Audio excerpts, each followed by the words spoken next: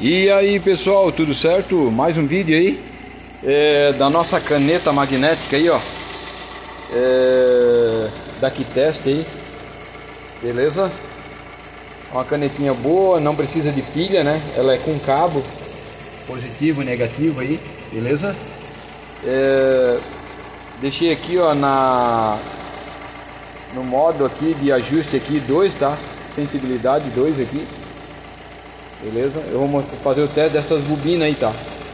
Beleza? Antes de fazer o teste da bobina, vou mostrar pra vocês aí o teste do bico aí, ó. Tá? Bico pulsando aí, ó. Vou pegar aqui, é só um jeitinho, ó. ó.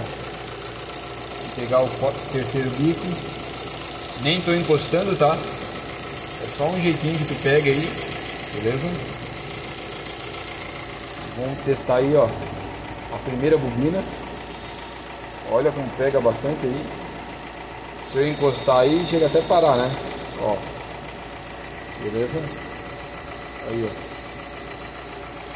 Vamos testar a terceira bobina. E vamos testar a quarta bobina aí. Beleza? Canetinha top aí. Não é caro, né? E se tiver um carro falhando aí, ó se tivesse uma bobina essa aqui parada, né? A gente já podia pegar né, o sinal aí da bobina, beleza? Se tivesse uma bobina com defeito aí, a gente já matava a charada, né? Beleza? Eu não vou fazer aqui é, uma simulação, porque o carro tá ok, né? Mas se eu desligar o conector aqui, a bobina já vai parar, já não vai ter, né?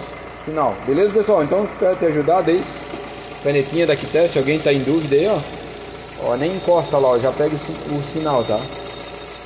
Beleza? Aí, ó. Nem encosta, de longe aí, ó. Canetinha top aí, tá? Vale a pena, beleza? Se alguém tá com dúvida aí, pode comprar que é barato e top, beleza? Aí, ó. Valeu, abraço. Caneta da Kitest aí.